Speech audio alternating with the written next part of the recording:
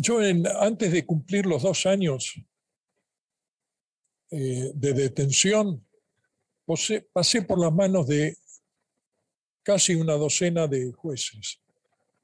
Tampoco se puede decir que eso sea justicia. Uno de ellos fue Álvarez Canales, que se negaba a detenerme, y después Piano Martínez, por el mismo hecho, sin ningún agregado, eh, me procesa y todo. Pero eso ya lo vamos a hablar.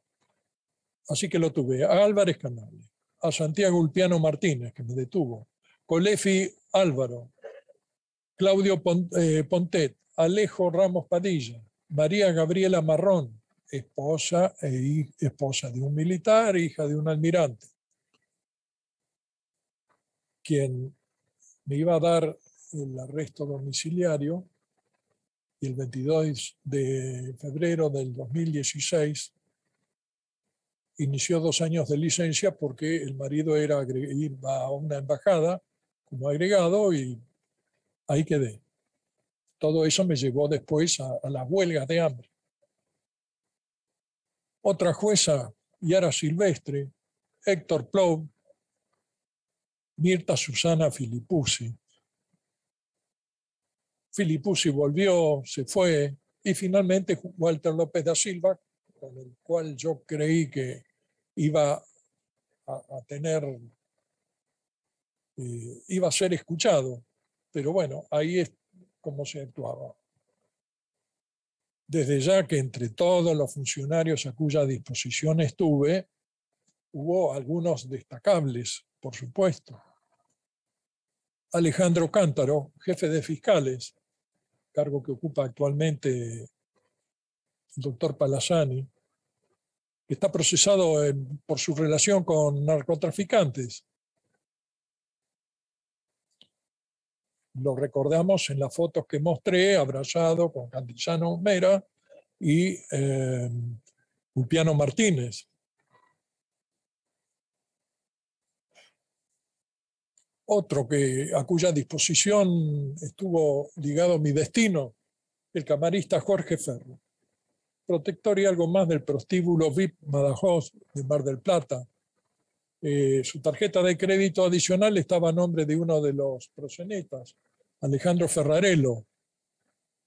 La causa que se instruye o que lo imputa sería eh, por trata y lavado de dinero, un lugar que movía muchísimo dinero. 26 mujeres de diferentes nacionalidades. Está atrás, estaba atrás del, del Sheraton Hotel. También le nombré a la jueza Mirta Filipuzzi.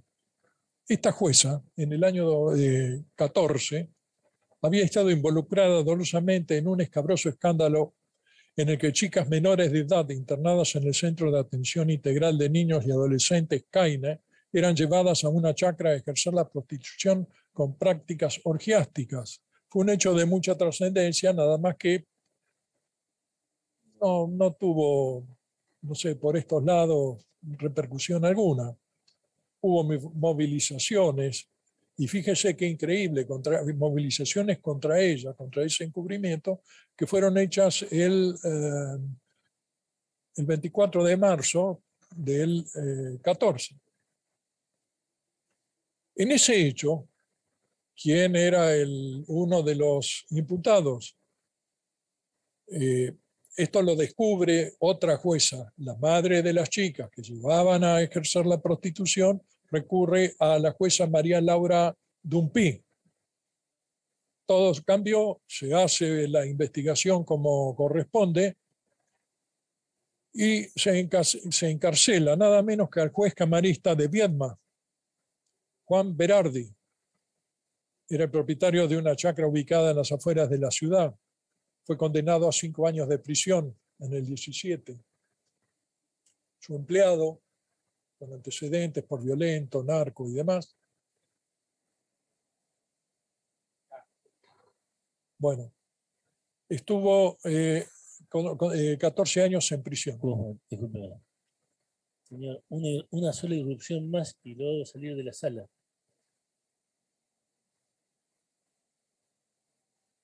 Bueno, con antecedentes por consumo de drogas y comportamiento violento. Y un tercer imputado, fíjese qué cama sería,